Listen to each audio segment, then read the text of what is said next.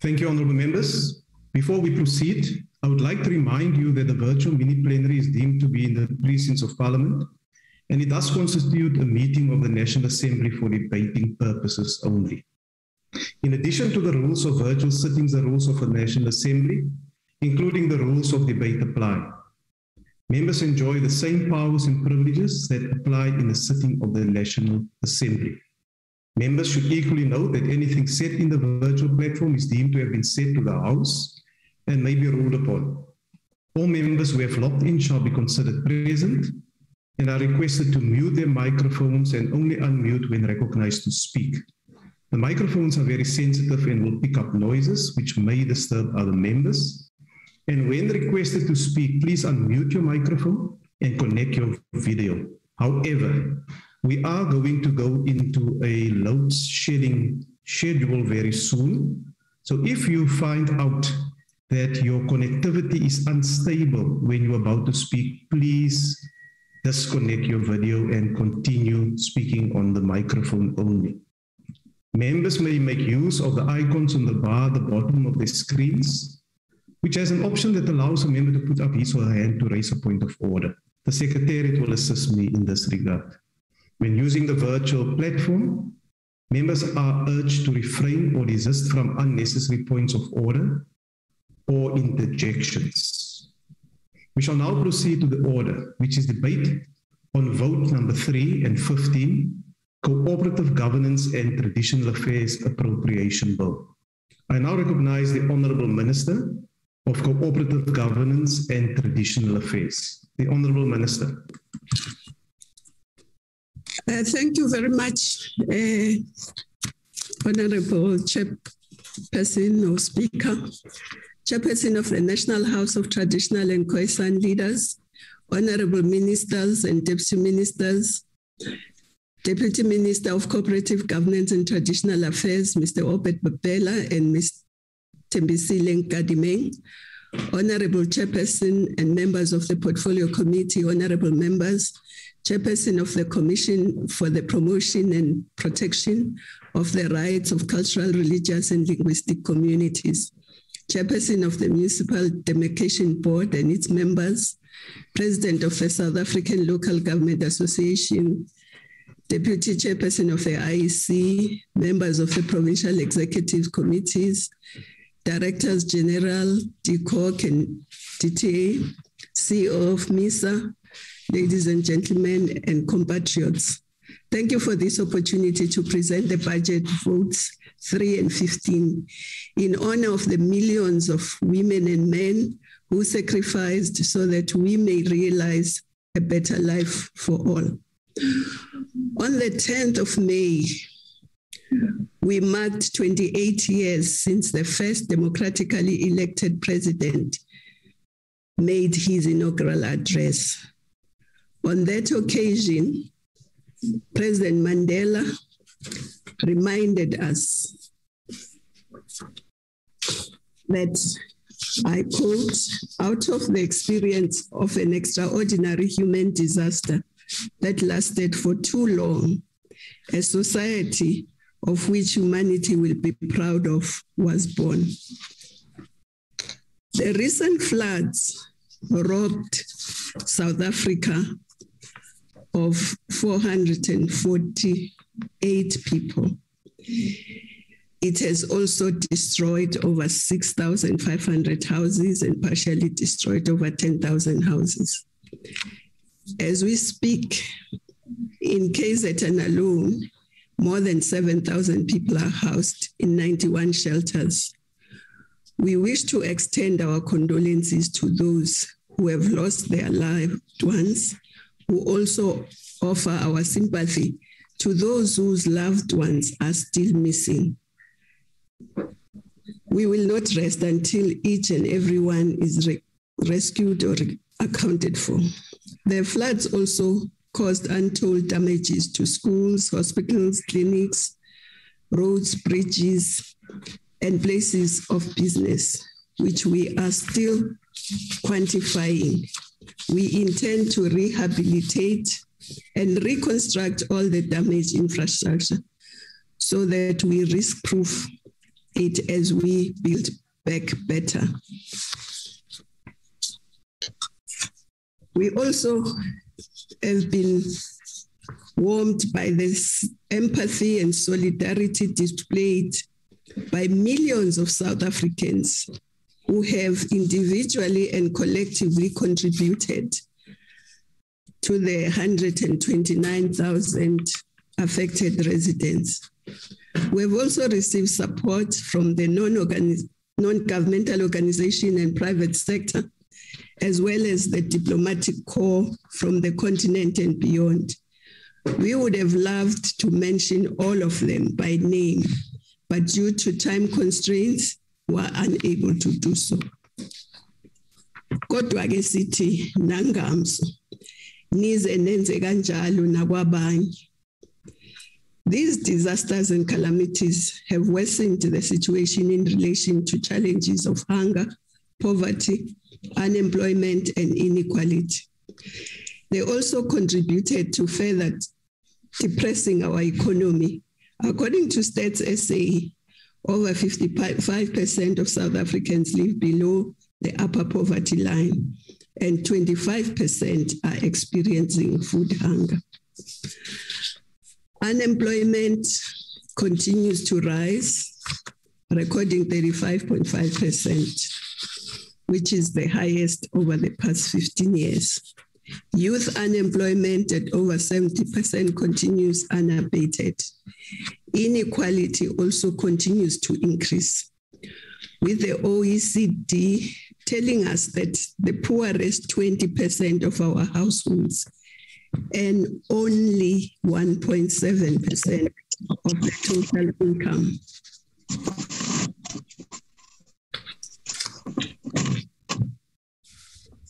Thus, we must heed to the advice of scientists, which tell us that in future, the eastern parts of our country are bound to experience wetter conditions.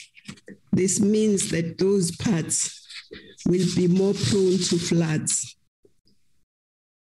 On the other hand, the western parts will be drier, meaning that they will be more prone to droughts. We must therefore plan appropriately.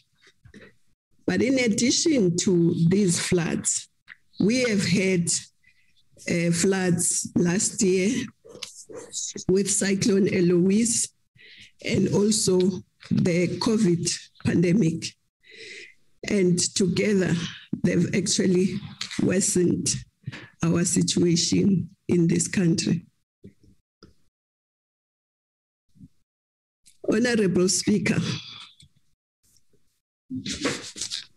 in addressing the effects of disasters in the past financial year, we allocated 157 million from the municipal disaster relief grant to address the aftermath of tropical storm Eloise in the affected municipalities. The storms were accompanied by summer season rains which led to the displacement of 3,200 poor people in Mpumalanga, KZN, Northwest, and Limpopo. We also allocated 221 million to deal with the crippling effects of the protracted droughts in the Western Cape and Eastern Cape. These resources complemented the efforts of the provinces and municipalities to secure livestock, feed, and improve water supply. Honorable Speaker, infrastructure and its maintenance play a major part in building the resilience of communities. We must turn them into climate smart communities which care for the environment and do not build in dangerous ways or places. This requires supporting municipalities whilst facilitating for the ramp, ramping up of the capabilities and capacities of municipalities. As part of the municipal support and intervention package, during the past financial year, 50 civil engineers 15 electric engineers, 15 town planners, nine assistant provincial managers, and nine uh, provincial managers from MISA were deployed to various provinces across the country.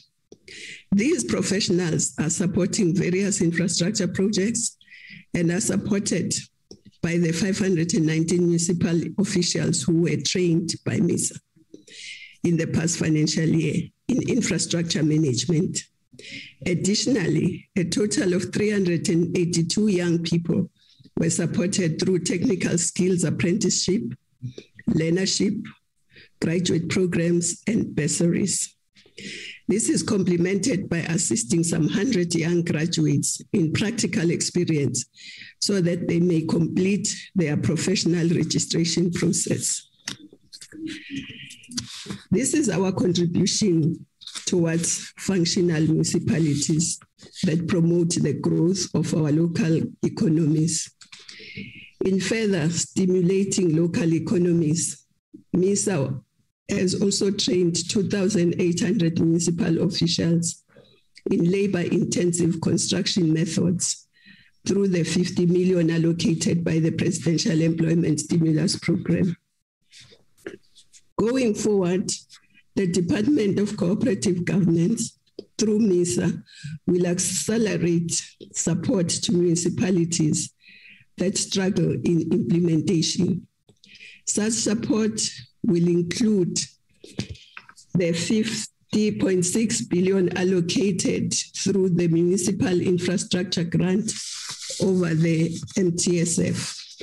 The grant will support municipalities in delivering basic services like roads, social infrastructure for poor households in 218 municipalities. 10% of this allocation is directed at fulfilling the gap as it relates to repairs and maintenance. And an additional 5% will address infrastructure asset management planning. This we did because a lot of these municipalities were not budgeting for repairs and maintenance. We remain concerned that 39 of our municipalities continue to spend below 70% benchmark in the third quarter. It is also alarming that 30% of these municipalities are water service authorities, meaning that in the communities, the quality and reliability of water and service continue to be a concern. The implementation of DDM will, in implementing the DDM, will work with MISA and the Department of Water Affairs to support these 39 municipalities. We've also prioritized the availing of capacities through the district development hubs to the municipalities that are water service authorities. For us, water is survival, is a survival issue, which is second only to oxygen. Of course, sanitation is dignity. We cannot allow our people as to be aspirations to be deemed by the challenge of water. Honorable Speaker, whereas we have recorded progress in the implementation of the district development model and the one plans, we're finding that the plans must go through a quality assurance process. We've also found that the current intergovernmental framework architect may not be entirely adequate to facilitate the one plan and one budget. We revised the IGRFA regulations to enable better joint planning. The proposed revisions are currently in front of the state law advisor after months of intensive and extensive con consultations. As part of the DDM, we are also jointly hosting the post-SONA presidential Izimbizo, with the next leg being at the end of the week in Mpumalanga. We will also accelerate the implementation of the Eastern Seaboard development through the interdepartmental and multi-sphere project teams. Key projects including the outstanding land audits, the integrated master plan, and the ongoing N2 projects. We have also recently received assurance that SANRAL will take over the repairs of the very dangerous and unmaintained R61 between Port St. John's and Port Edward. We've also received interest from local and international investors. We have also finalized all consultation processes relating to the declaring parts of the Eastern Seaboard as a region. Of course, the Eastern Seaboard straddles two provinces and four districts. So it's, it was important, it's important that it should be declared a, a region for development purposes. The Minister of Agriculture, Land Reform and Rural Development, in line with the National Spatial Development Framework, SPLUMA, has agreed to urgently gazette the declaration of relevant areas. This will be supported by a special purpose vehicle which will drive development in that area. Honorable Speaker, our existing cities, towns, and development landscapes also require focused attention. Thus, as part of Integrated Urban Development Fund, Intermediate City Municipality Support Program, will accelerate rollout of eight intermediate city municipalities. This will complement the work we are undertaking under the Smart City framework, which the Deputy Minister, Thembi Nkadimeng, will elaborate on. Suffice to say, these frameworks and plans must be supplemented by practical projects which can bring about quality jobs and livelihoods in the short term. One such program is the Innovative Waste Management Program, which has employed 7,444 participants in two provinces since inception in December 2021. The participants are currently engaging in solid waste management activities such as street cleaning, litter picking, and management of illegal dumping. In this financial year, we intend creating 8,238 additional jobs in this area. This will be complemented by the revised Community Works Program. Honorable Speaker, we will continue to monitor and implement actions which are directed at addressing the issues of the issues that were raised by the Auditor General in her report. This we shall do through the forum we have established, which includes the National Treasury, the South African Local Government Association, SALGA, the Auditor General, and the provincial departments responsible for local government and finances. Bringing the necessary skills, capabilities, and capacities to a local level are an important lever by which we can address the issues raised by the AG. We are also paying special attention to the Mangaung Metro, as well as Enoch Mgijima and Lekwa, local municipalities, under Section 139.7 of the Constitution, which was invoked in Mangaung Metro in March 2020. This was after the Section 1395 invoked by the province in the Metro in December 2020 did not bear fruit. Consequently, a team of interdepartmental experts has been dispatched to Mangaung. These come from the Department of Culture, Human Settlement, Transport, Treasury, Water, Sanitation, and MISA. The team and work streams are expected to turn around the dire financial status of the metro, address the duly escalating political challenges while addressing the governance and administrative challenges, which include consequence management. Enoch, Mgijima, and Lekwa have been identified as financially distressed and are challenged by governance and political issues. Following the court orders against the provincial cocters, we have placed the municipalities under Section 1397, working with Treasury. Honorable members, since our last budget was presented to this House, we welcome the President assenting to the local Government Municipal Structures Amendment Act, which came into operation on the 1st of November 2021. Amongst others, it brings into being an enforceable revised code of conduct for councillors. This amendment provides for the MEC to remove a councillor from office for a breach of the code of conduct. The amendment also introduces a section 79A of the Structures Act, which prohibits municipal office bearers such as mayors and members of EXCO and MAYCO from being members of the Municipal Public Accounts Committee, MPAC. We believe that this will ensure transparency, effective oversight, and accountability over council matters. We will also submit to Parliament the Independent Municipal Demarcation Authority Bill. The amendments to the Municipal Demarcation Act are largely based on proposed proposals received from the Municipal Demarcation Board based on lessons learned over time. These lessons also form part of the 21 year review of local government, which we shall conclude this year.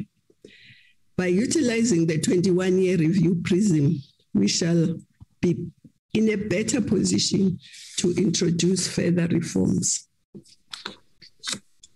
During this month, the National Assembly passed the Municipal Systems Bill and referred it to the President to, for assent. This bill also standardizes the processes related to the appointment of municipal managers and managers directly accountable to the municipal manager. It also provides for competency criteria for such appointments whilst prohibiting the holders of such offices from political positions. We firmly believe that this legislative intervention, together with the provisions introduced through amendments to the Structures Act, will address many of the governance challenges that are facing the municipalities. On the 1st of November 2021, we successfully held our fifth free and fair local government elections we also noted the declining levels of voter participation, where 23 million of the 26 million registered voters voted. Following the elections, we have also seen 70 municipal councils with no outright majority, which could potentially result in instability in these hung councils. Honorable Speaker, last year we reported that we would remodel the community works program, which in fact has had been the main source of our negative audit outcomes. We are pleased to say that from the piloting of the remodeling of CWP, we've already seen some improvements in the operational efficiency of the program. The savings realized through the remodeling allowed us to increase the daily stipend paid to participants from 97 rand 50 to the current 110 per day.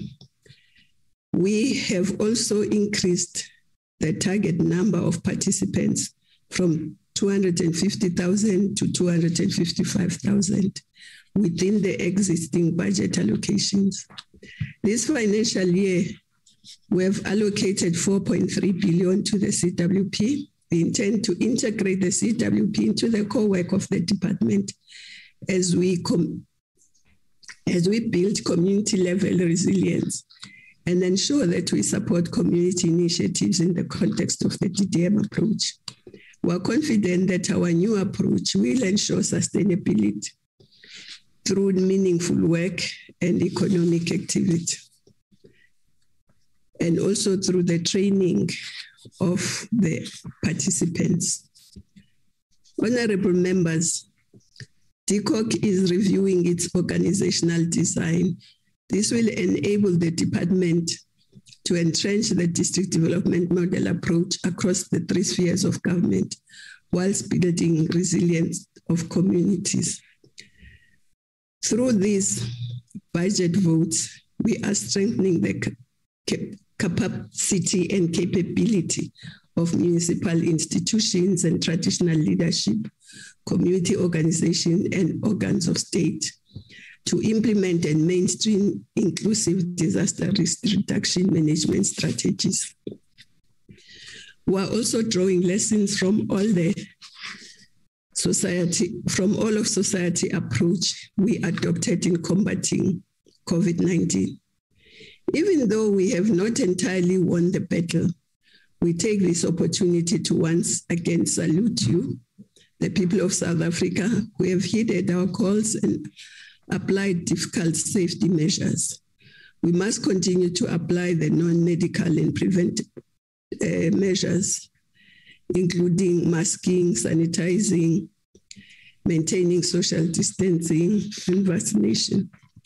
Such sacrifices have contributed to building resilience and minimizing the cost and effects of COVID 19. Unfortunately, of course, the measures we had applied to, we have adopted, are not always entirely understood and accepted by all. Consequently, we have had 109 court cases before the since 2020 March.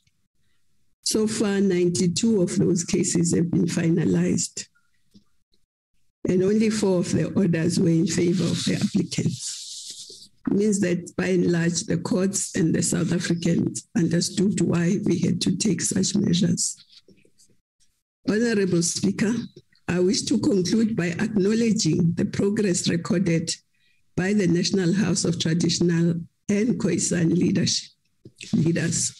For the first time in the history of the House, it is under the capable leadership of a woman, Nkosikazi Mhlauli. We are confident that the landscape of rural South Africa will change and the hopes and dreams of the rural masses will be realized with the Invest Rural Master Plan as the lodestar.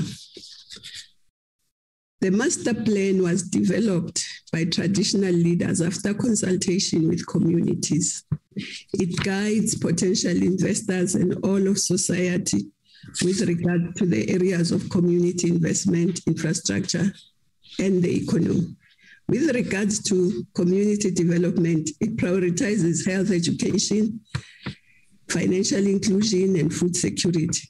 It also prioritizes investment in rural infrastructure, including ICT, renewable energy, as well as water and sanitation. With regards to economic growth areas, it prioritizes agriculture, tourism, manufacturing, and enterprise development, amongst others. It is indeed a plan by the people for the people. Thus, we intend to request government to integrate it into the economic development plans of the country. Amongst others, progress areas in this implementation of is the implementation of the Customary Initiation Act of 2021. It regulates the registration of initiation schools so that it ensures that the initiation surgeons are trained and competent, thus protect the initiate. We have also recorded progress in the appointment of Khoisan Commission under the capable leadership of Professor Nick Botha to facilitate for formal recognition of the Khoisan communities and leadership. This will also add to the number of legally constituted tribal uh, councils, which according to legislation should be completed by 31 March 2023. The formula for determining the number of, of members traditional councils must therefore must have therefore gazetted on the 4th of February 2022, giving way for the legal institution of traditional councils. Deputy Minister Bapela will elaborate on this and other promising plans in the traditional affairs space. For now, I wish to thank all the people I work with and request the House to support budget vote 3 and budget vote 15, which allocates 350 billion and 545 million over the MTSF. I thank you very much and hope that this will contribute to the eradication of hunger, poverty, unemployment, and inequality. Together, we can do more. I thank you. Thank you, Honorable Minister. The next is the Honorable Xasa. eh enkosi emhlali ngaphambili umphathiswa osekela abaphathiswa umhlali ngaphambili wendlu yenkosi eh isikhokelo sesalga. Abahlali bangaphambili udemarcation board ne-crl rights commission. Malungu eparlamente abekekileyo From the 3rd to the 4th of May 2022, the Portfolio Committee on Cooperative Governance and Traditional Affairs met and considered the 2022-23 annual performance plans, strategic plans, and budgets of the departments and entities reporting to it. This consists of the Department of Cooperative Governance, and Traditional Affairs, the uh, Municipal Infrastructure Support Agency, the Cultural Rights, Religious and Linguistic Rights Commission, the Municipal Demarcation Board, and the South African Local Government Association. The Department of Cooperative Governance tabled its 2022-23 annual performance plan and budget in the aftermath of heavy rains, flooding, and strong winds, and landslides that devastated various municipal areas in KwaZulu-Natal and the Eastern Cape, which caused the loss of lives and damaged property, infrastructure, and the environment. Having received a comprehensive update from the department on the coordination of response and disaster recovery efforts. The Portfolio Committee is now ready to also lend a hand of support by visiting some of the affected areas.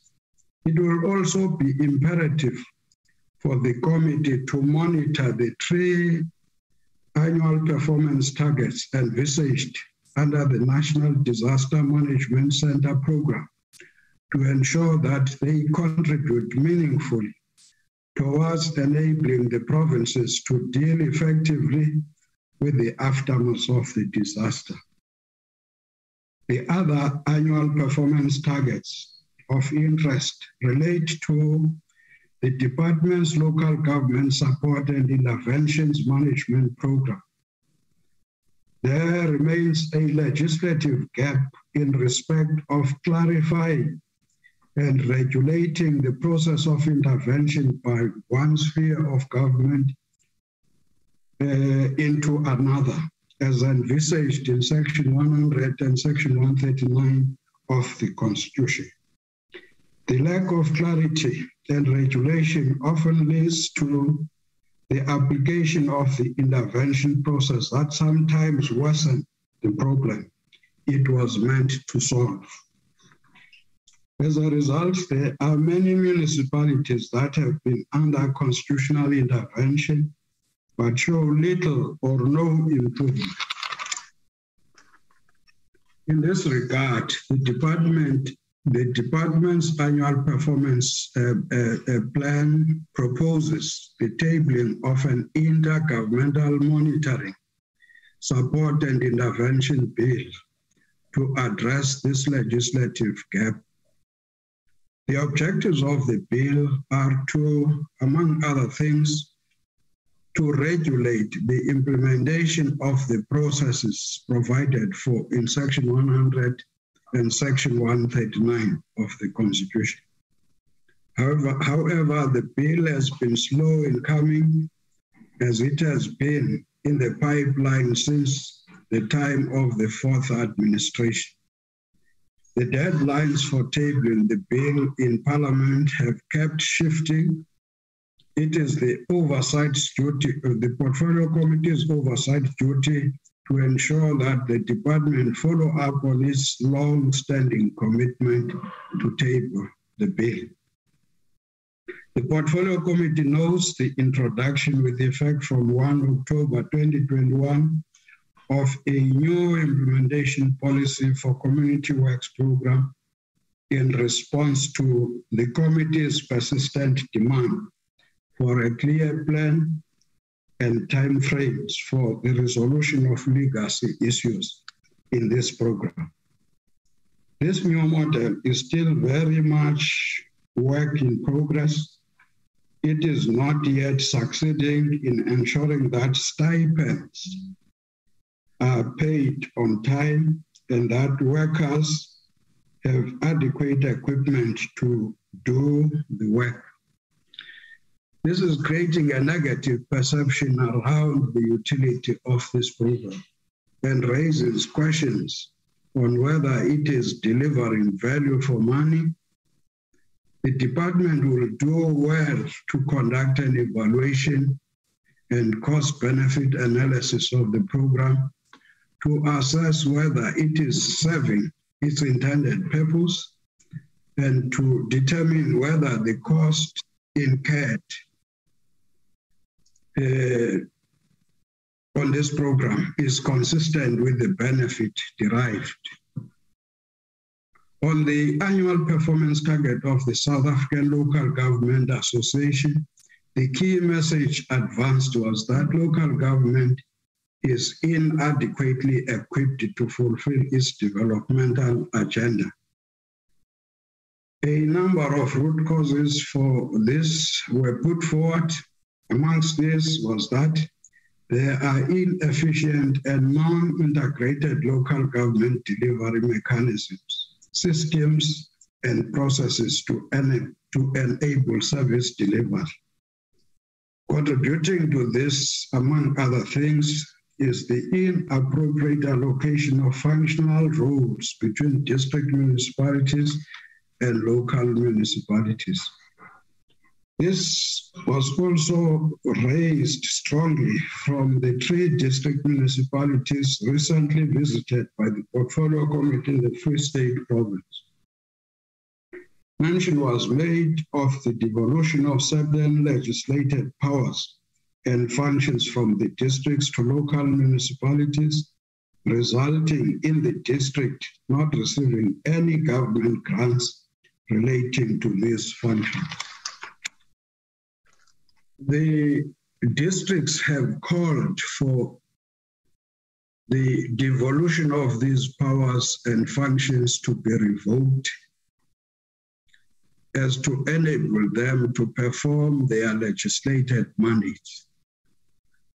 As the custodians of the laws governing local government, the Portfolio Committee is duty bound to investigate this matter further and make appropriate recommendations. A common theme across 2022-23 annual performance plan and budget presentations of the department, uh, SALGA, Municipal Demarcation Board, MISA, and the CRL Rights Commission was that their funding models were not sufficiently responsive to the responsibilities they are expected to fulfill. While the Portfolio Committee is sympathetic to these funding constraints and supports the augmentation of the budget shortfalls, it is necessary to impress that the existing budget allocations used more efficiently and channeled more towards core service delivery objectives where allocations seem disproportionately skewed towards administrative overheads, there must be a coherent explanation as to why this is the case. In conclusion, the Portfolio Committee appreciates the fruitful, cordial, and constructive engagement with the Department of Cooperative Governance and Traditional Affairs the, CR, the CRL Rights Commission, SALGA, Municipal Demarcation Board, MISA, on their 2022-23 annual performance plans, strategic plans and budgets. We also would like to appreciate the contribution of committee members as well as uh, support staff for the committee. The committee supports the budget votes 3 and 15. Thank you very much. Thank you, Honorable Member. The next speaker is the Honorable Brink. Uh, Honorable House Chair, I'm delivering this speech on behalf of my colleague, uh, Honorable Cilliers Brink, if that is in order with you. Please proceed, Honorable Member. Honorable Chairperson, disaster management uh, takes up a relatively small portion of the budget of the Department of Cooperative Governance. But in the past two years, it has consumed the lion's share of the Minister and the Department's attention. As we speak, another national disaster is unfolding. Within the next month, Nelson Mandela Bay will reach day zero. The taps are going to run dry. Both the municipality and the Eastern Cape provincial government have failed to put con effective contingency measures in place. The water crisis in Nelson Mandela Bay, to a large extent, a man made crisis, a political crisis, and it is made worse by neglect and ineptitude. There are other disasters in the making. Solplaiki, Mangaung, Emfuleni, Msunduzi, Ugu, the municipalities that have become bywards for state failure. To be sure, the National Disaster Management Centre must come to the assistance of the people of the Bay and soon. By managing the consequences of state failure at every sphere of government, cannot become the main job of the Department of Cooperative Governance.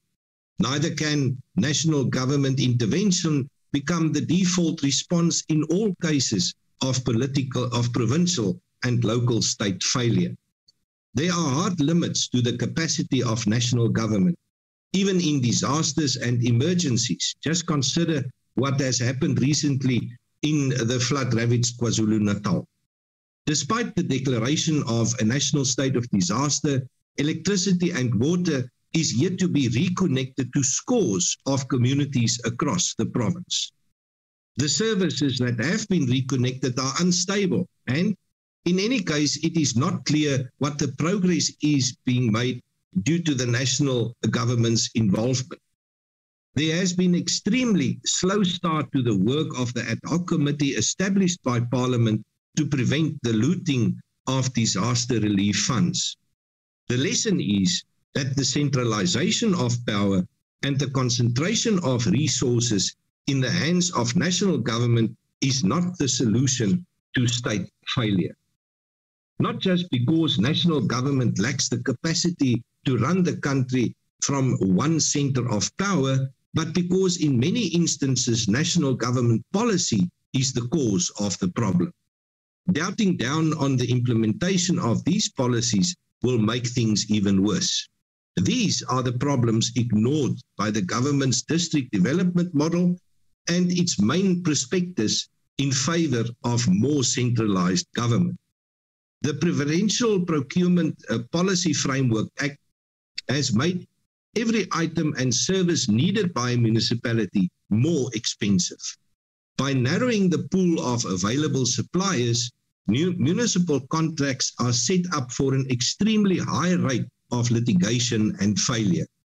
This is what Moletsi Mbeki means when he describes BEE as institutionalized corruption. The legislative framework for institutionalized corruption was not created by provinces and municipalities, but by this parliament. And so the DA has formulated draft legislation in favor of non-racial procurement policy, one that will allow all state entities to procure the best value for money. But the problems that national government bequeaths to provinces and municipalities aren't limited to bad policies and bad laws. Often, national government simply fails to fulfill its own core functions and municipalities are then left to deal with the consequences. In large parts of the country, including metros, the criminal assault on electricity installations and infrastructure is reaching crisis levels. This is no longer just a matter of policing, it is a matter of cooperative governance. Recently, a criminal gang uh, in Joburg took control of an entire electricity substation operating with near military type efficiency. Most cable thieves now have the upper hand over police stations when it comes to logistics and intelligence. While station commanders scramble to find vehicles to dispatch to the scene of a cable theft, the criminals have all the resources needed to do their job. The assault of municipal infrastructure has devastating consequences for communities and basic service delivery. Think of how many substations, feeder cables, and protection gear forming part of municipal reticulation networks are being operated way out of their own life cycle. Now, add to the effect poor maintenance, the extreme wear and tear caused by load shedding, and the unavailability of qualified electrical engineers. Only then does it become clear how fragile the infrastructure is that these criminals are striking at and why communities suffer power outages beyond load shedding.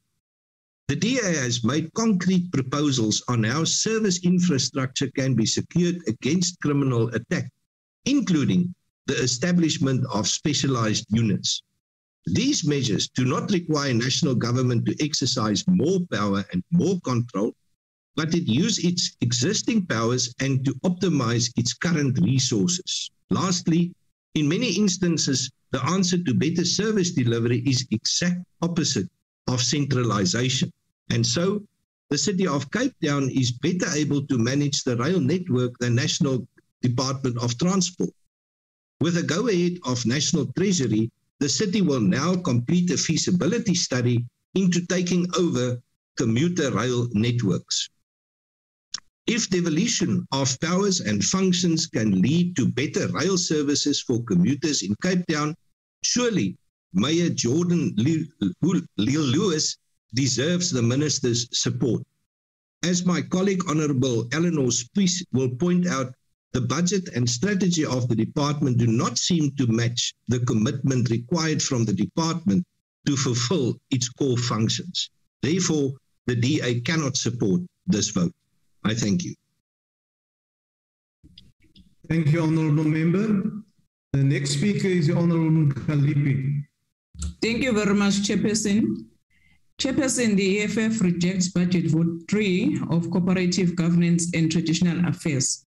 As we speak here today, Chair, departmental report indicates that 64 municipalities in the country are considered high risk and dysfunctional, while 111 municipalities are considered medium risk, but also highly dysfunctional. There are only 16 municipalities that are considered stable in this country, oh, or a big joke. The dysfunctional state of municipalities has been public knowledge for a while, and yet there seems to be no appetite for fixing the mess that is in these municipalities by the ANC. Year after year, the Auditor General makes almost the same findings about these municipalities. These are lack of internal controls, inability to attract and retain skilled staff, deeply embedded corruption, inability to manage finance, and to raise funds. Yet, there is no overarching vision to change these inefficiencies in municipal governance. There's a little appetite in government for relooking and at a structure of municipal funding, which favors more urban municipalities where residents are able to pay their rates and self-finance the operations at the municipalities. Rural municipalities, Chairperson, do not have that luxury and are often only able to pay salaries and deliver the bare minimum when it comes to services. COGTA has failed to provide decisive leadership on the dysfunctional municipalities and the management are pushing away officials with experience in order to accommodate their friends and close cronies in the department under the minister's favorite DG and under her leadership. Victimization of senior officials is the order of the day. As a result, well experienced senior officials are leaving the department.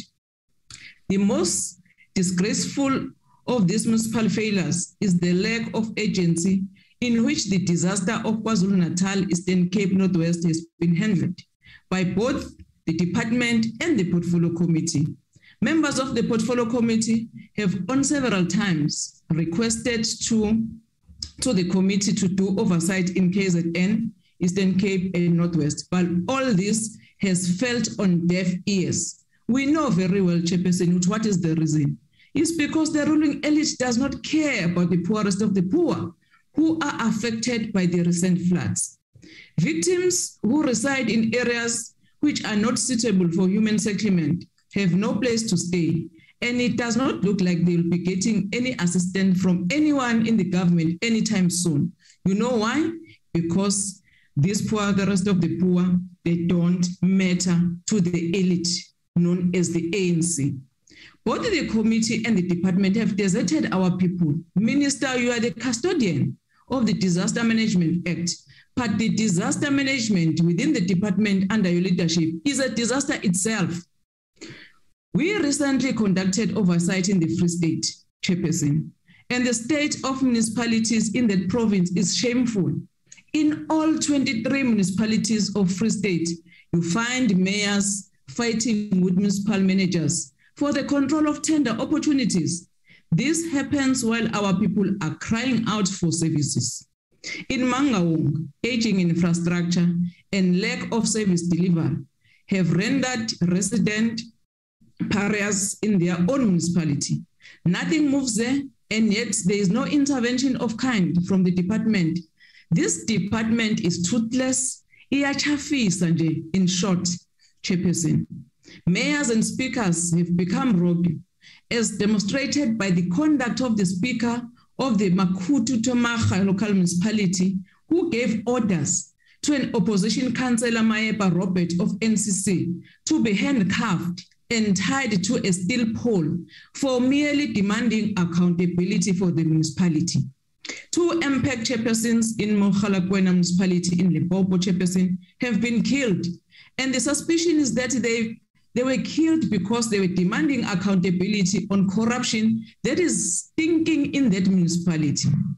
The Maceloniana mayor is arrested as we speak and his municipal manager is under investigation for 5.9 million for security company belongs to him and the former mayor and yet was given a security tender for the municipality the mm who is there in that uh, municipality he do as he pleases in that municipality with no consequences or no action against him this is proven by the investigation which is taking forever while the abuse of the municipality funds continues on daily basis. The community works program has been used as a tool for looting and has not had the intended outcomes of empowering people and alleviating poverty. This concern is always dominating portfolio committee when we are engaging with the department, but it's clear both the minister and the DG have no appetite to cap such corruption. The question then arises, who is benefiting under this looting from this program? time will tell.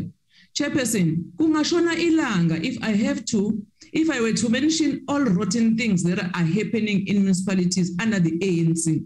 In short, ANC have turned municipalities into dens of heartless thieves who are cruel, vicious, dangerous. The painful part is that poorest of the poor are the one who must face hardship and suffer the most, and thieves are in control in municipalities. Chairperson, as I conclude, we would like to commend people of Ward 3 in Polokwane in Northern Cape and Ward 5 in Mafikeng who rejected ANC and voted for EFF in the recent by-elections. People were simply communicating that izinto zishintshile in Ward 3 in Polokwane and Ward 5 in Mafikeng. So therefore, Chair, we are rejecting this budget as EFF. Thank you very much, Chairperson. Thank you, Honorable Member. The next speaker is the Honorable Princess Buthelezi.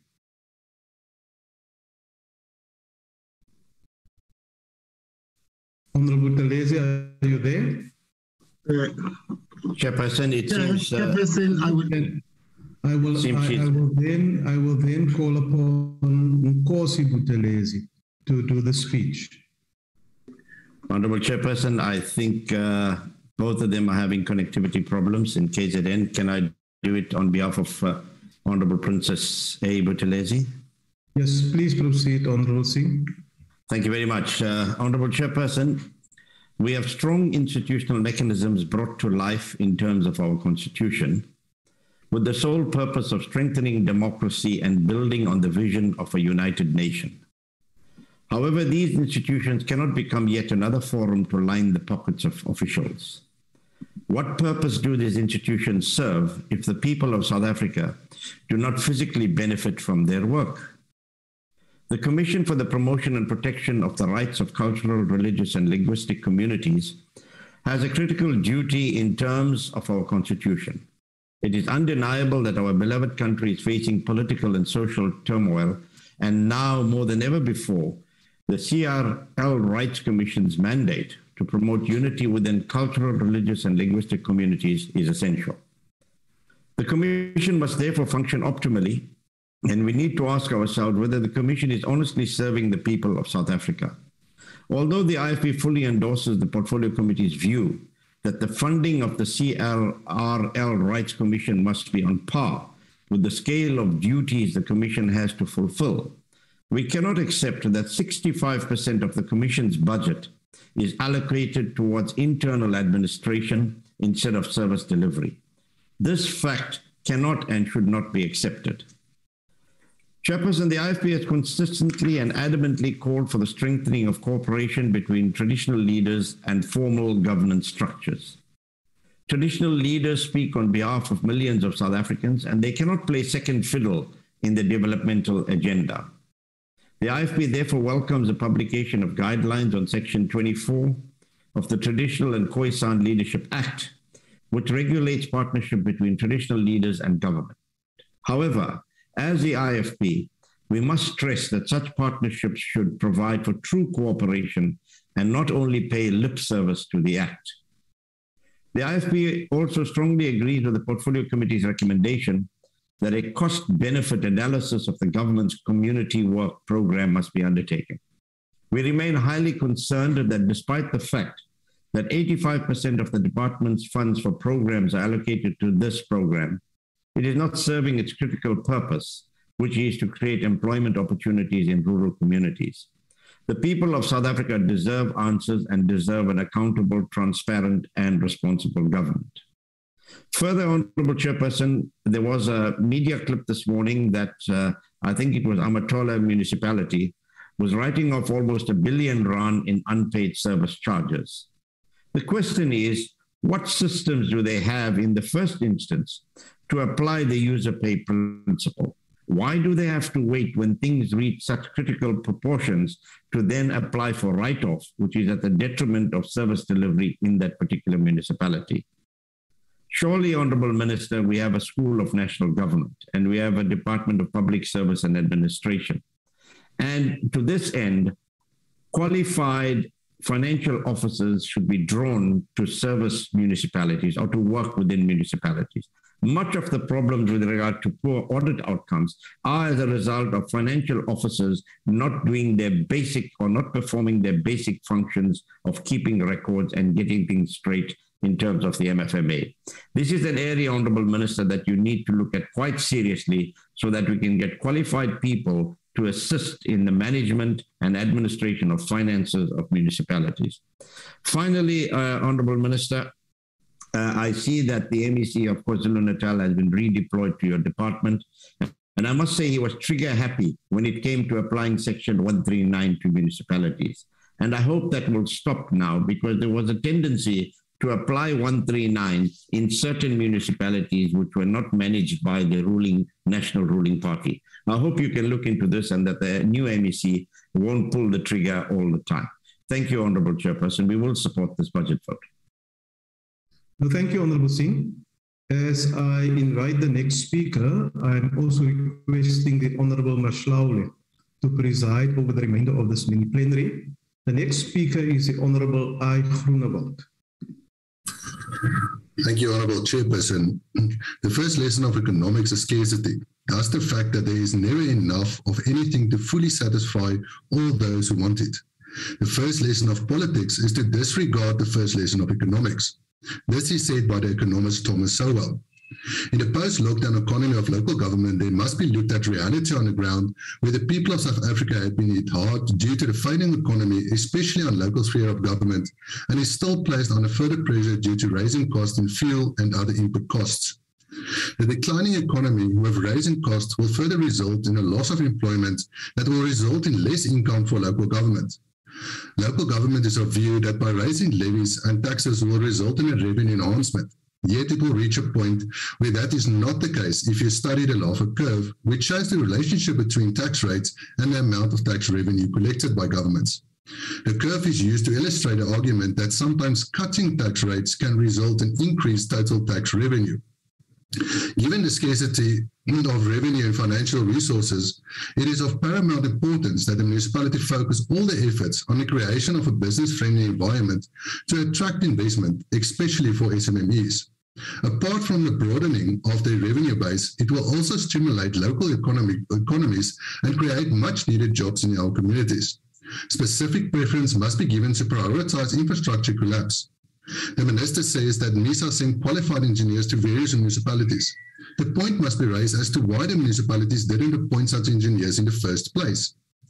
It is, however, not possible under the ANC government to create an environment for prosperity. The ANC is a selfish government that only care about money and how much they can annex in levies and taxes rather than put money back in the pockets of ordinary law-abiding citizens of South Africa. The ANC wants to be populistic and campaign for votes rather than to admit their failures as government. The ANC is not a caring government. Local government should be able to recognize the opportunity cost in these daring times and not make populistic decisions. Local government must understand the fact that it isn't business as usual and make provision for economies to grow. Put policies in place so that there is a relief, even for the elderly and disabled citizens, and not only for those that are homeowners, but for those that are renting or as a user flood claim.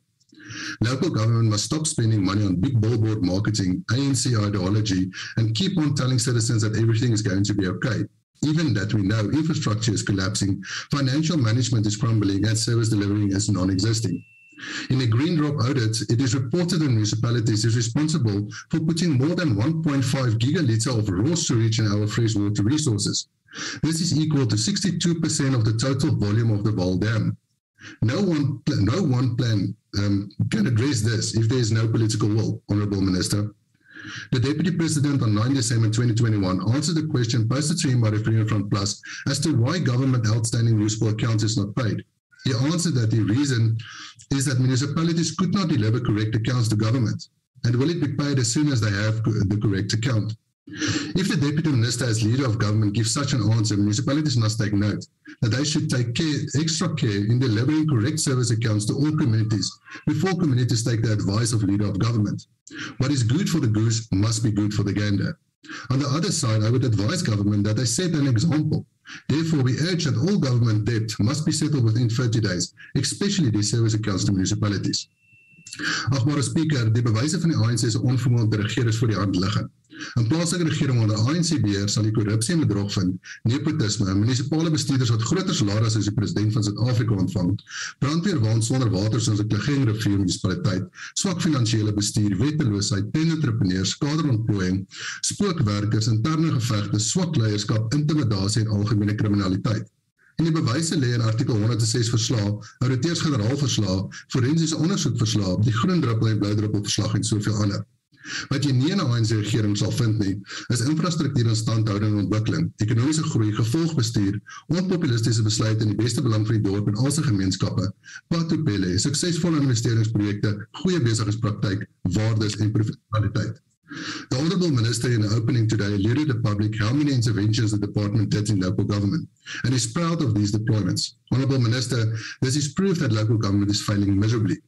The time has come for communities to reprioritize representation rather than government that want to reprioritize communities again. ANC government promises can be seen year after year in the ever increasing decay of local government. Thank you, Chair. Thank you very much, Honorable Member. May I now call the Honorable the Deputy Minister of Cooperative Governance and Traditional Affairs, the Honorable Bapela, Uh, House Chairperson, honorable members, Minister Nkosazana Dlamini Zuma, Deputy Minister Thembi Nkadimeng, Chairperson and Deputy Chairperson of the National House of Traditional and Khoisan Leaders, the SALGA leadership, CRL Commission, and the Demarcation Board leadership present, ladies and gentlemen.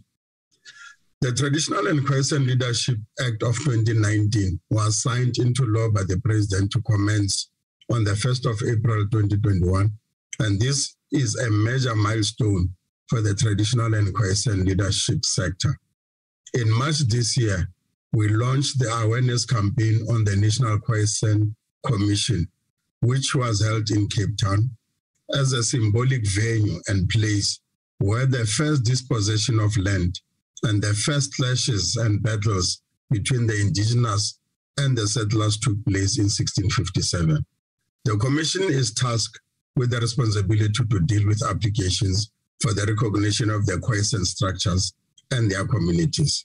Some community members have already submitted their applications, and the Commission continues to receive more applications, which process will end in March 2024, and hope that a lot of them will then take advantage of this particular activity.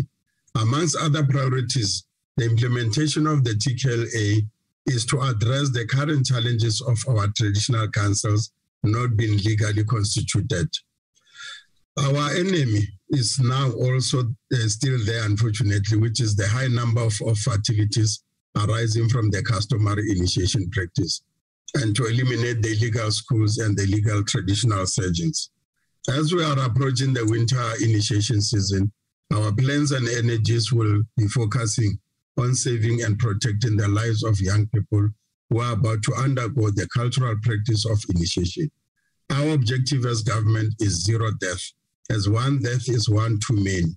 This we can achieve through the provision of the law. And we also need the traditional leaders to work together with parents, communities, as well as other social partners. We are glad to announce that the Customary Initiation Act was enacted in 2021 and commenced on the 1st of September 2021 as a legal tool that is now available to assist government to achieve this objective of zero death.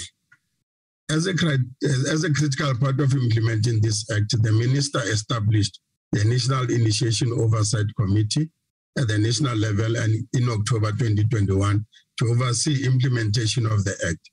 We appreciate also the provinces that have started also establishing the provincial initiation coordinating committees. We are closely monitoring the over 60,000 initiates in Mpumalanga who are undergoing initiations for this year. They are already in the schools and, and, and, and, and, and, and, and, and they are there. We are, however, worried as we observe the rise of illegal initiation schools is still rampant, and we are on high alert due to the trend of the abductions that are still unfortunately taking place. Sadly, as we present this budget, we have received reports that 13 initiates have died in Mpumalanga, thus uh, reversing our objective of zero death. And we send condolences to their families. As other children will be undergoing the initiation in June in Limpopo, Eastern Cape, and the Free State, we'll also be putting these provinces on high alert as we are now doing uh, in Mpumalanga. Honorable members, in March last year, the Cabinet resolved on the processes of consultations on the question of the communal land tenure, which process is led by the Department of Agriculture, Land Reform, and Rural Development, working with the Department uh, of Traditional Affairs. These consultations were meant to culminate in the convening of the Land Summit, of which a resolution was taken at the Indigenous Indaba held in 2017 to have a land summit that discusses and resolves on the 13% of the land. The cabinet has announced that the land summit will be held later this month. This is after extensive consultations of various stakeholders conducted, uh, such as the provincial houses, Contralesa, National Khoisan Council, civil society, academics, and land experts. The Department of Agriculture, Land Reform and Rural Development and the Department of Traditional Affairs assist with the preparatory work in order to ensure that the planned summit is successful. With our continuous engagement with the traditional leaders and with the IJA to resolve challenges uh, that uh, have uh, uh, raised over the time with government. President Ramaphosa established an interministerial task team chaired by the Deputy President that will focus on the resolution of these matters. The MTT is split into the following working streams. One, uh, advancing land ownership, tenure rights, and fast-tracking socio-economic development of rural communities. It will be led by the Minister of Agriculture, Land Reform and Rural Development. That's where the Minister of Minerals will also be included, really to resolve on all those particular issues of economic development. Building institutional capacity and ensuring support to traditional leaders, it will be led by the Minister of Finance. I think on this one, many honorable members during the appearance of the committee will be complaining about the lack of funding to it. It's inadequate. The house is not adequately funded. CRL is not adequately funded. And then the traditional leaders also have been complaining about issues of the tools of trade. And we hope, therefore, that will resolve a number of issues under this particular uh, work stream. The third, advancing infrastructure investment and skills development in rural communities, which will be led by Public Works and Infrastructure. Lloyd, the minister spoke about the Invest Rural Master Plan, which still has to be included as a program of government, will also help us in really begin to look at the investment in that area because for you to attract investment in the rural areas, we must deal with the infrastructure challenges. The fourth one is the promoting unity, social cohesion, and nation building in rural communities, led by the Minister of Sports, Arts, and Culture. And that's where then the traditional leaders will also add their voice to issues that are of a challenge on social cohesion uh, in the rural areas, in particular, working with other institutions. And the fast tracking, which is the last work stream uh, on the finalizations of policy, legislation, and constitutional matters, which will be led by the Minister of Justice and Correctional Services. On fighting uh, gender-based violence, there's an initiative by the Deputy Minister of Sports, Arts and Culture, who is collaborating with other deputy ministers, including us, to focus on areas where there are high incidents of gender-based violence and femicide, especially focusing on the rural areas, whilst everybody is focusing on the urban.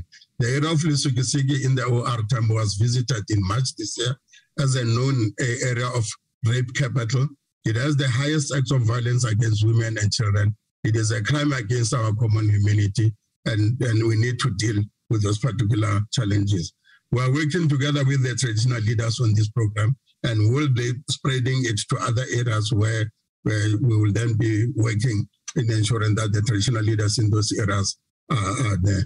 The Invest Rural Master Plan, the minister has really engaged uh, adequately on it. So uh, I was uh, also including in it. I just want, as I conclude, then really say the CRL uh, has an allocation of 47 million rand as a budget, and then and they've just completed engagements and investigations on the religious abuse and then and the other program that will be embarking on, which they've started with the Eastern Cape, is around the initiations.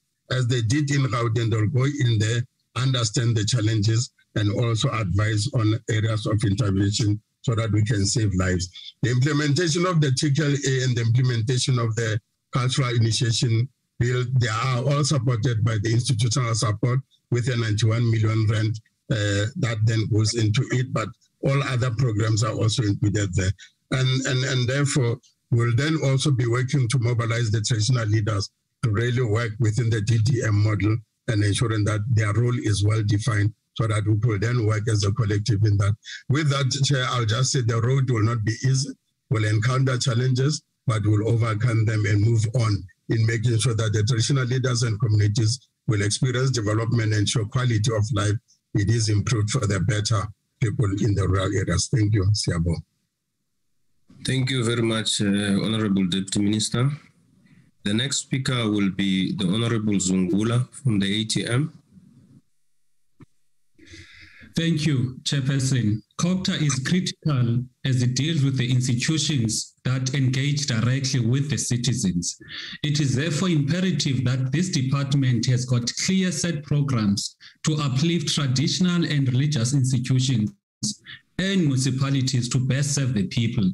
This would ensure citizens' needs are heeded to by these institutions. Traditional leadership must not be ceremonial traditional leadership must play a meaningful role in the development of the country. This would be achieved by also increasing the number of permanent members in the House of Traditional Leaders. In all areas under traditional leadership. The budget must be administered by Inkosi Yendao. Amakhosi need to be more active in the promotion of the indigenous languages and traditions so as to best preserve our heritage. Inkosi can't be made non-entities by taking the management of the budget of rural areas to councillors and Inkosi has no say about the development kodwa umhlaba wayo Rural development is critical to ensure mass migration to cities is reversed. The economy of rural areas must circulate amongst the people in those rural areas, and the people must be the primary beneficiaries. Umhlaba ukhona, the government must provide mechanisms for farming in all villages. We can't have people in villages with igadi namasini, but they buy the most basic produce from supermarkets. Abantu mabalime and the government must provide. The church plays a critical role in shaping the moral fiber of the people. Government must deal with bogus churches who prey on people's beliefs. Indigenous churches must be supported by, by all means possible. COGTA must lead in protecting the faiths of our people, particularly the indigenous churches that are ignored and sidelined. It can't be that in South Africa, Ama are still forced to cut their hair and their beliefs they are violated, whereas the beliefs and practices of other faiths is protected. Inkolo yethu yakwantu must be protected and its dignity affirmed by the government. Government can't ignore our indigenous faiths and but prioritize foreign religions that have come to our country. The CRL Commission must protect all faiths and hold accountable. Why are you doing this? Hold accountable all faiths. It must not appear to be targeting certain Christian leaders. In lastly, Chair, would like to wish all apostles as led by Ungcichane, Unkwenkwezana, Umeva Mhlophe, the chief apostle Nongunga, a successful apostle day. uthixo ophilayo uthixo obapostile abenani ngale mini ikhethekileyo i thank you thank you very much honorable member the next speaker will be honorable Taba Nchaba for the ANC Thank you, Honorable Chairperson. Greeting to the Honorable Minister, Deputy Ministers, and Honorable Members. I rise on behalf of the African National Congress to support this budget vote number three and number 15. This budget address the key issues that the people of South Africa in their local communities are concerned about the issues of unemployment, social cohesion, and social development are very important in the and the government must addresses them uh, properly. This budget comes against the backdrop of the economic reconstruction and recovery plan that was announced by the president following the negative impact of COVID-19 not, not only community life but even on our economy which was already struggling it also comes at a time when there is food insecurity and our communities following the July social unrest last year. And now the rising food prices due to the war in Europe.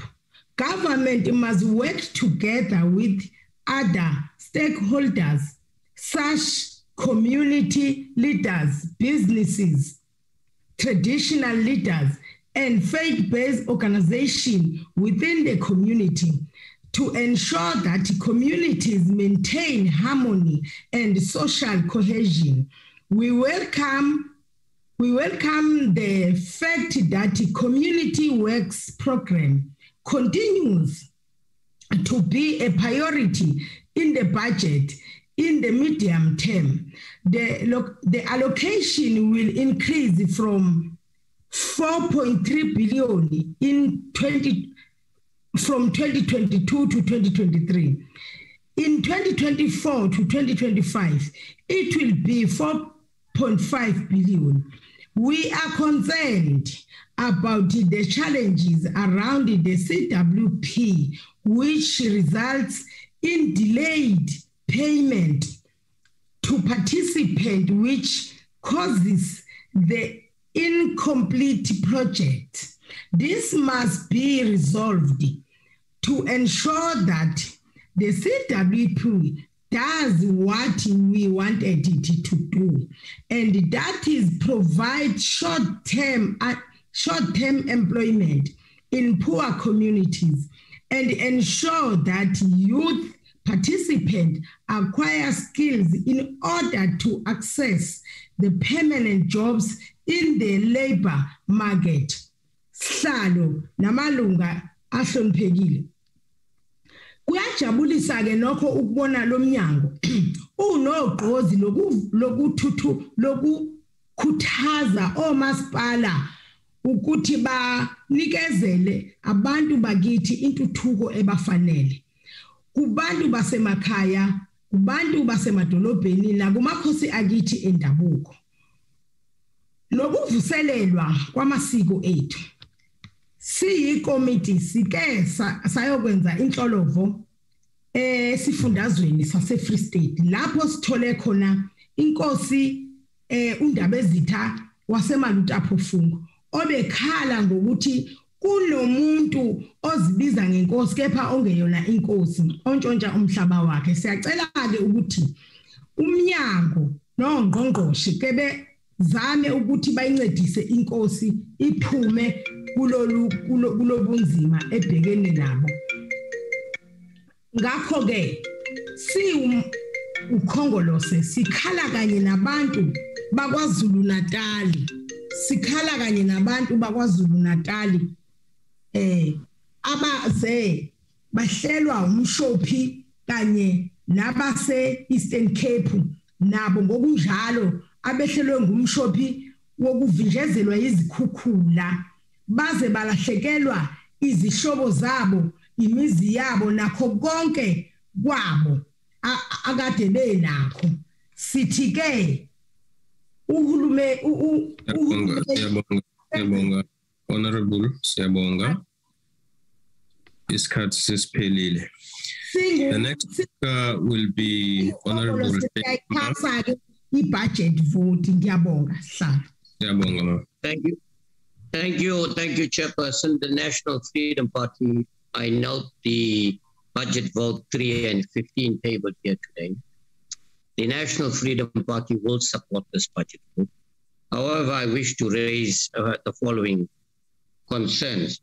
Honorable Minister, if you remember through your chairperson, last year sometimes I requested that we provide a comprehensive list of all the contracts uh, that have been awarded in the local municipalities, particularly in KwaZulu-Natal, in the last year or two, names of the companies, names of the directors, and the value of those contra- contracts, including cost per item to see that we've got value for money. But more importantly, to introduce a transparent and credible process so on a monthly basis we could advertise these contracts that have been awarded to ensure that we get value for money and it is not exploited by a few people, as Honorable Mkhaliphi said from the EFF, on how the BEE processes are being exploited in the country. I also want to raise my concern. You know, I thought that in introducing the district uh, uh development model, I thought we're actually going to be cutting the cost of, of administration in fact, I thought we were going to one of the countries like Canada where you have a two-tier government, a national and a district, and remove the rest. So more money can go toward delivering services. But now it seems like we are heading for a fourth tier of government, which means more money would be spent on administration. Those that don't perform the local government level now means district level will come to do exactly the same thing it's like the oversight mechanisms we have in the country. Every sphere of government conducts oversight. Despite that, the delivery of services is not forthcoming. The other problem, uh, uh, uh, through you, Chairperson, is the fact that the amount of collusion and corruption that's taking place on the procurement process. Right now, as I speak to you, the control that mayors and deputy mayors have in the local government level, the collusion that takes place, the meetings that are taking place to overthrow other political parties, the amount of money that is changing hands is the reason why we cannot deliver services to the people on the ground. Until you have an independent process, entirely independent, where no politician, no mayor, deputy mayor, no political party is involved in the appointment of, of officials, CFOs, municipal managers, and things, you will continue to have what we have today. And that is uh, one of the lowest levels of delivery of services. And that's why we tend to have so much of it. Then the other problem that we tend to have is if you look at thank the issue you, of the flood. Thank you very much, uh, Honorable. Uh, thank you. Thank you. The NFP will support the budget vote. Thank you. Thank you. May I now call the Honorable, the Deputy Minister of Cooperative uh, Governance and Traditional Affairs, the Honorable Nkadimeng. House Chair, the Minister of Cooperative Governance and Traditional Affairs, Dr. Nkosazana Dlamini Zuma, Deputy Minister Obed Bapela, the Chairperson of the National House of Traditional Leaders, Mama Mhlawi, Honorable members, good evening. It is my honor and privilege to join the Minister in presenting the budget of the department. And I want to thank my predecessor, Honorable Parks Tau, for the work done trying to improve the capacity of the department and the foundation for the work done to ensure the performance of local government and ensuring that local government does become everybody's business. I know that my predecessor did participate in the previous quarter budget votes in line with our mandate, but also guided by the departmental strategic plan.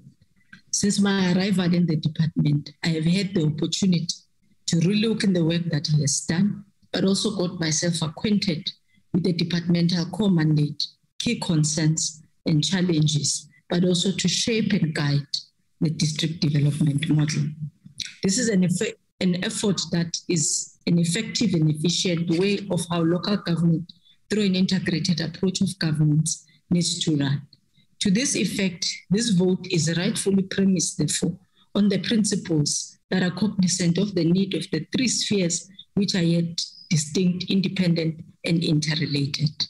To deal with these challenges, which seems to be complex in the sphere itself, we need all of us to have a societal based approach which can only be realized through the district developmental model, which implores all components of government to function cohesively as a whole and effectively to deliver a capable and a developmental state.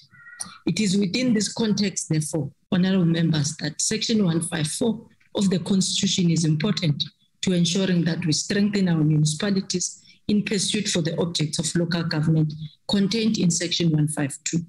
Our budget vote is strategically enabling conducive con- conditions to collectively harness all the public resources by culminating into one plans, which are also operational and model to ensure stability in municipalities. So we're working with all the stakeholders to assist to put the municipalities to work better. For example, in Northwest, it was agreed during the recent in presidential imbizo that municipalities like Maquassi Hills, Ditsobotla, and Mamusa will be assisted by the department to put criminal charges against those who have been implicated in the fraudulent activities.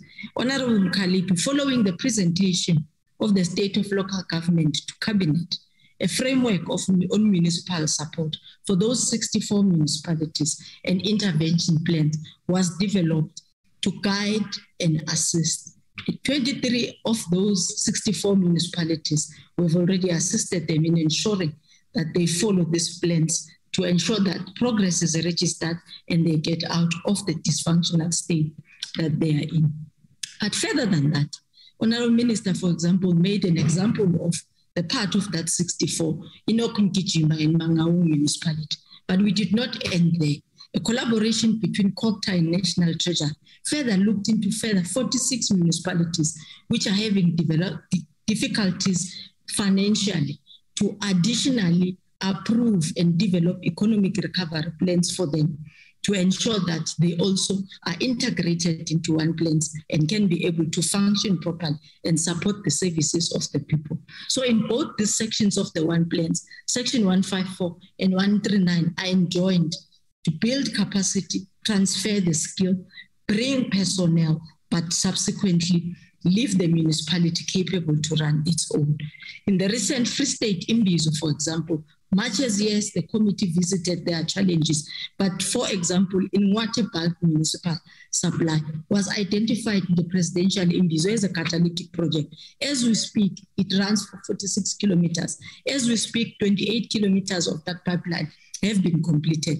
At its completion, 5,776 households will benefit, and a total of 21 local subcontractors have been uh, appointed in line with our SME development project. So to boost the 70% maintenance spending that the minister spoke about in capacitating our municipalities, our water service infrastructure MIC has been remodeled with the assistance of the department through MISA to ensure that in all the 23 plus the 46 municipalities, we get an end enroll of that. Honorable C, we have put an intergovernmental monitoring support and intervention bill. Currently, there's no legislation which regulates interventions in the provinces, that is Section 100 and Section 139 in municipalities. The MEC might have sounded trigger happy, but it is better to act as early as warning signs are received or are shown in the quarter reports that are received by MECs subsequently a provincial treasuries to assist municipalities. But we will be tabulating for all, as you know, the, the, the, the, act itself to be to ensure that we fill the void and regulate the interventions in both 100 and, and 139, but also aligning them to what the Municipal Finance Management Act says with regard to discretionary financial interventions. As indicated by Minister Zuma, key uh, sustainability and financial viability on municipalities is also realized by the training of municipal uh, public accounts committees, which will assist uh, honorable members with the capacity but also accountability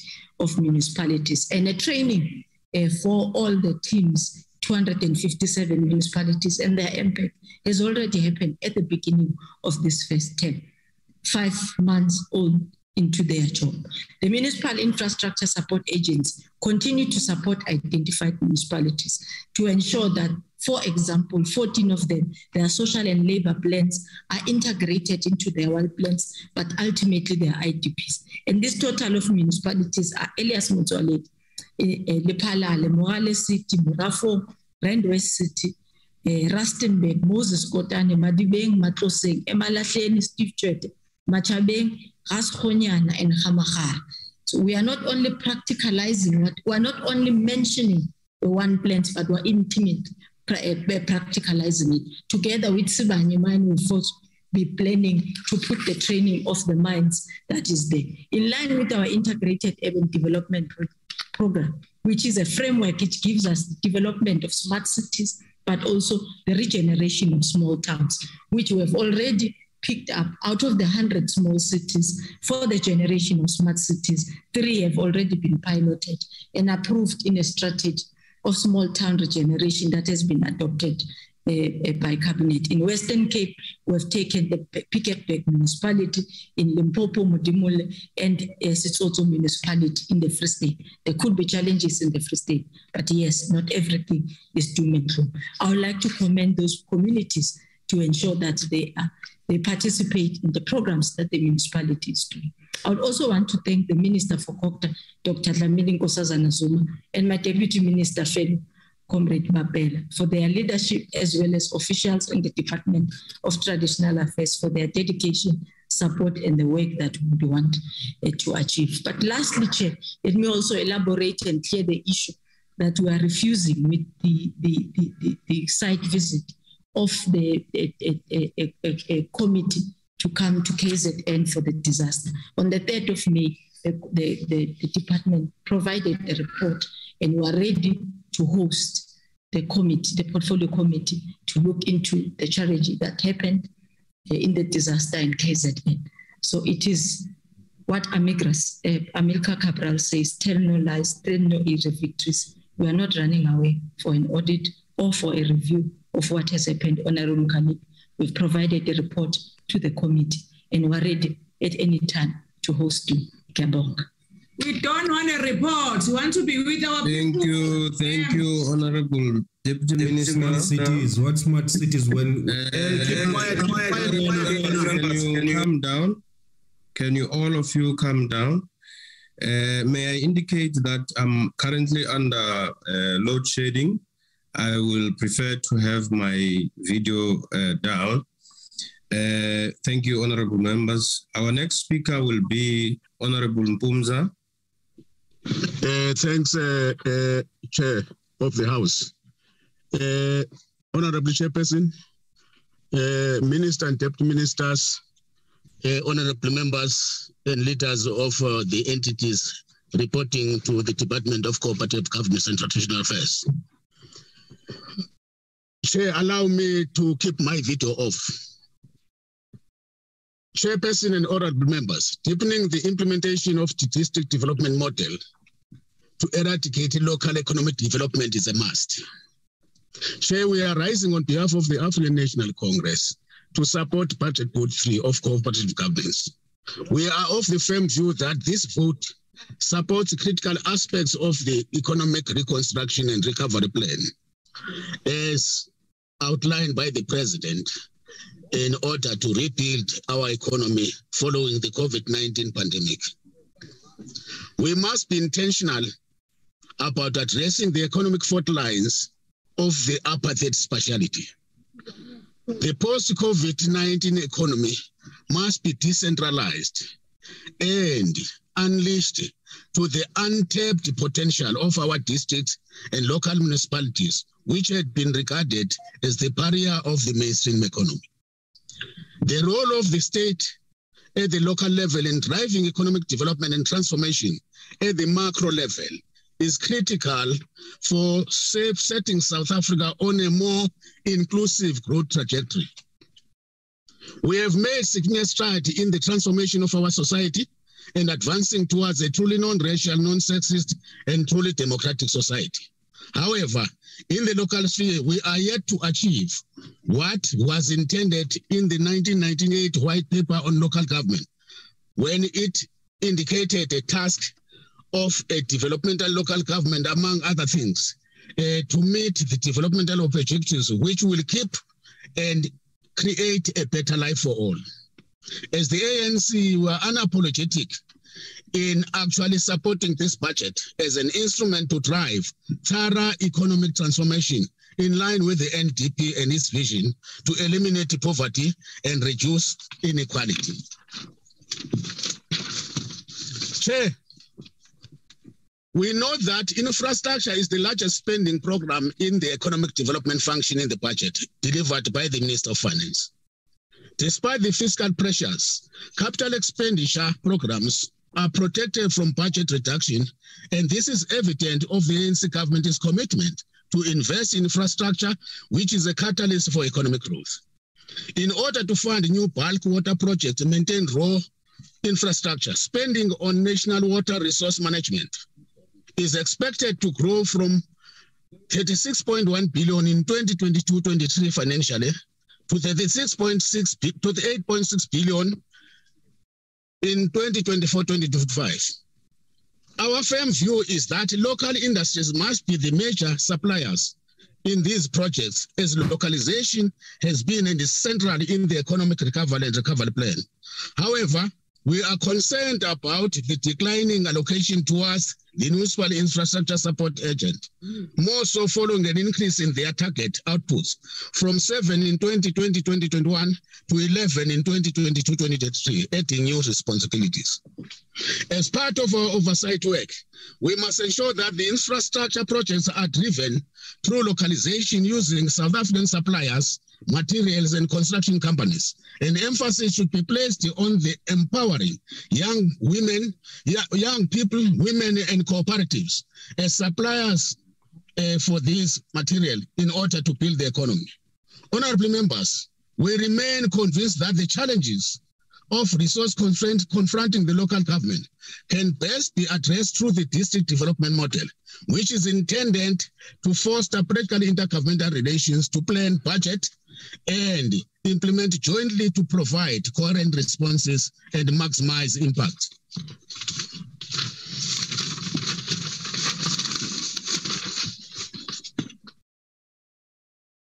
Honorable Chair, having piloted the DDM in three municipalities and drawing lessons from successful implementation throughout the country.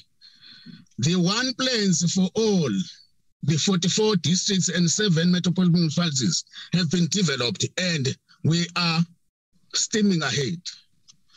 Some of their successes seen in the pilot stages include the OR Tambo 50 small micro enterprise, medium enterprises and cooperatives that have received support from the district and partners in the form of financial support and equipment necessary to unlock their business potential.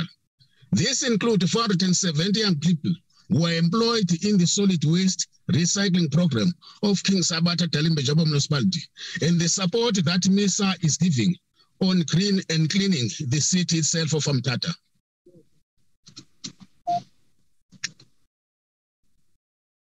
We are aware that this particular program is being implemented in the district focusing on number of sectors, including furniture manufacturing with the Fentank to provide almost 30 uh, which supports 30 SMEs entrepreneurs. Similar achievements in eThekwini and eThekwini Metro and Waterberg District municipality uh, can be cited.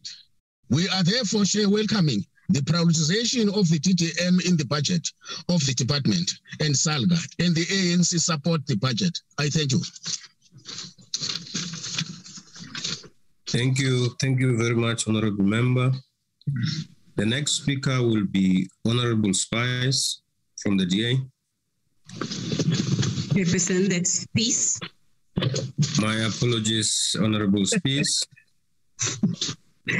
um, good evening, Honorable House Chair and Honorable members. 163 municipalities are under financial duress. 108 municipalities have unfunded budgets, and 29 municipalities have been placed under administration this is the real state of local government in South Africa. Yet, a whopping 4.3 billion rand of this department's program budget is spent on the community works program. This constitutes 85.1% of the funds directly administered by the department and excludes transfers to municipalities, SALGA, the Municipal Demarcation Board, the Municipal Infrastructure Support Agency, and the South African Sister Cities Network. Government support and intervention only gets 2.6% of the budget. Institutional development, 1.5%. The Municipal Systems Improvement Grant, 2.7%. And the National Disaster Management Center is at 2.1%. The community works program is definitely not serving its intended purpose. And there's definitely no return on investment whatsoever. There is just no justification for spending 4.3 billion rand on this program as this is not the core function of this department. What is worse is that the 4.3 billion does not benefit the very people that this program is intended for community works program participants on the ground earns a meager 880 rand per month.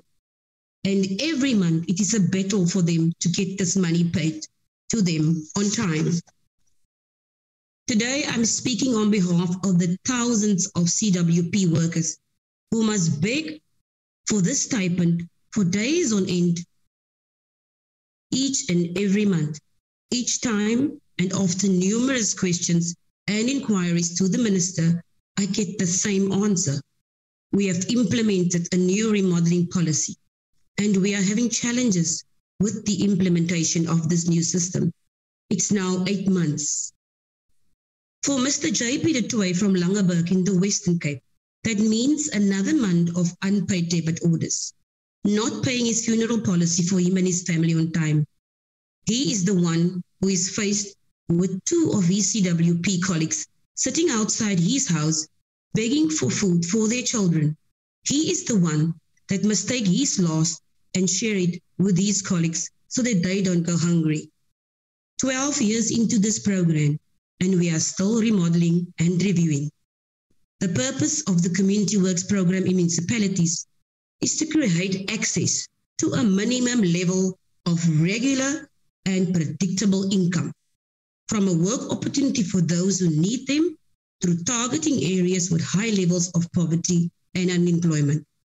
Female participants in Kannaland, one of the poorest communities in the country, shared stories of how they have to use their own tools, carrying spades from their home with them daily because there is just no supply of tools and material. Yet, the implementing agents, mostly non-profit organizations, appointed by this department to facilitate this program, receive millions. And upon researching these NGOs, it makes for very interesting reading. The people who do the actual work still remain poor and unemployed. Minister, you have a choice. You can decide to keep on throwing money at a program that is not working for the people on the ground, or you can incorporate the Community Works program into local municipalities. In principle, the DA supports a review of the CWP program to ensure that CWP workers, not third parties or implementing organizations, are the benefici- beneficiaries of this program. To this end, the DA proposes that the Department of COGTA stops administering the CWP budget as this does not form part of its core function. Instead, the CWP budget should be allocated to the municipalities' administered public works programs with the caveat that they provide quarterly reports on program implementation. Using municipalities will cut out on the fees paid to implementing agents and save the taxpayer millions of rands.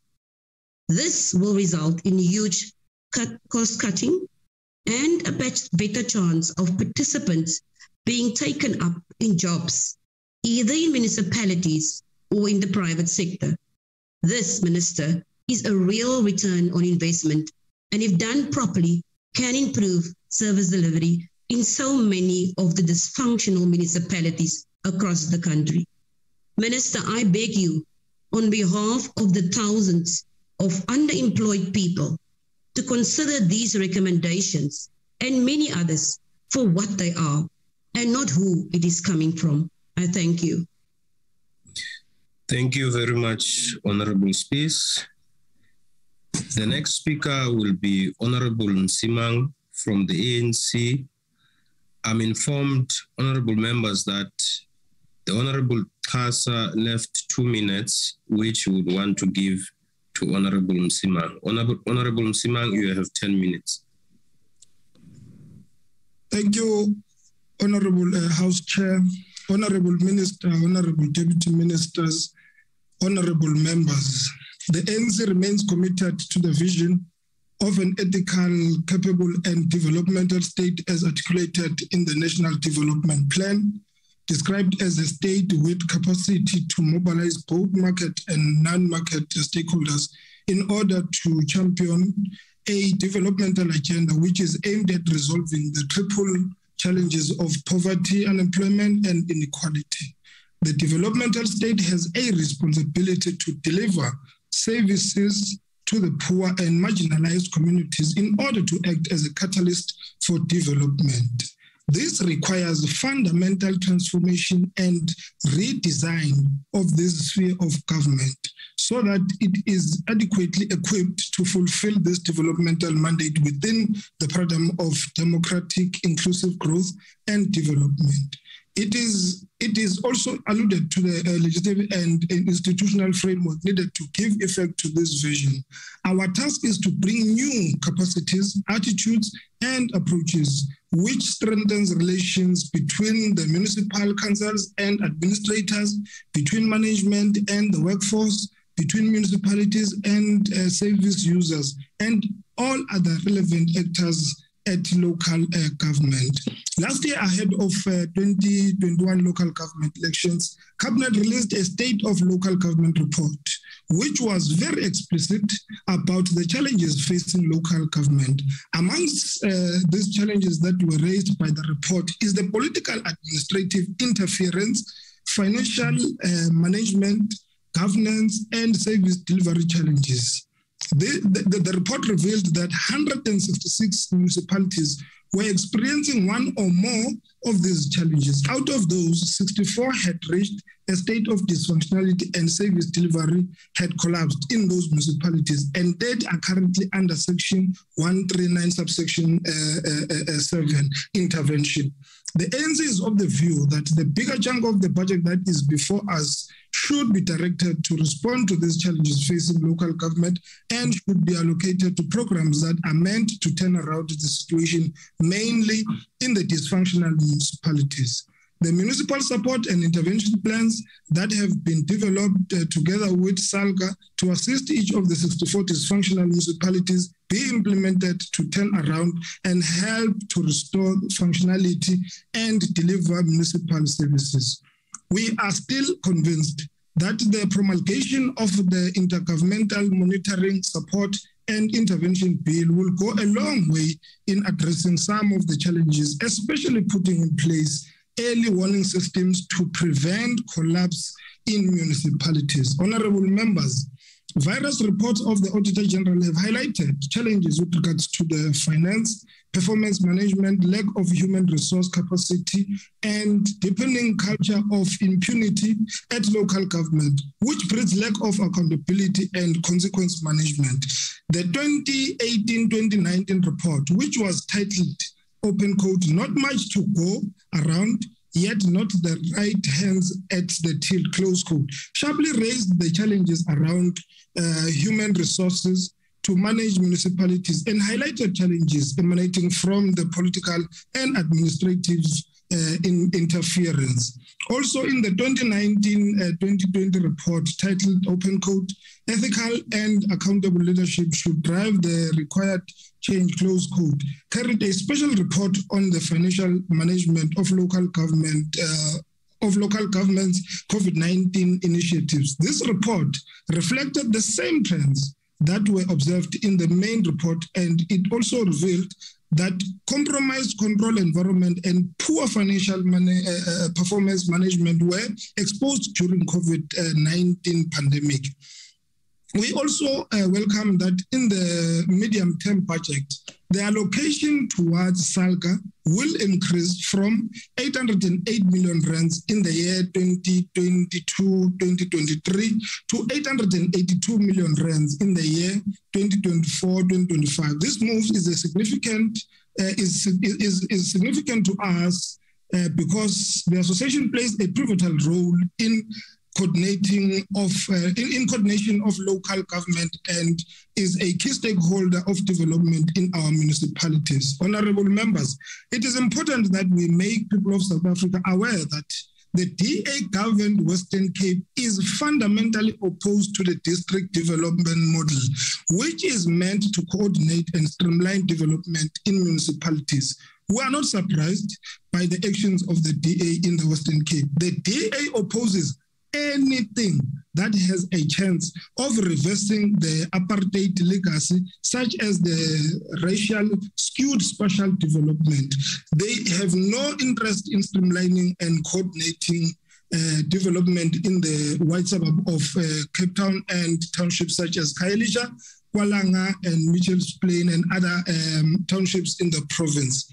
This budget is true to the character of the ANC of being biased to the poor and the working class uh, communities.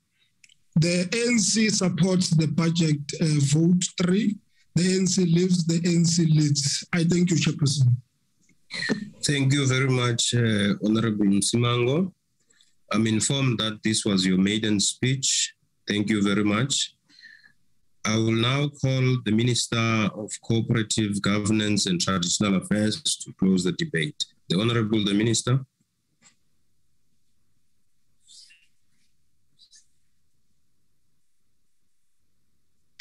Honorable Minister. Thank you very much, Chairperson. Uh, thank you very much to all the members of the uh, Portfolio Committee who have participated in this debate. Uh, let me first say that um, it is also it is disingenuous of some of the members to talk as though we should run the municipalities because they know that first of all we have no constitutional mandate to run the municipalities and secondly, we don't have the capacity to run the municipalities. So to come and speak here as though we, we should actually run the municipalities is disingenuous. Uh, let me also say that this department, even though it gets 110, 111 plus billion, after we've transferred all the grants, and taken out the CWP money, all we're left with is less than a billion, which covers MISA as well. So we are a very small department, one of the smallest in government. So I, I just thought I should make that point. But let me also say that the division of revenue is in my view, not correct because local government gets the least out of the division of revenue. But this is because a wrong assumption was made that municipalities will be able to raise their own resources, which is incorrect.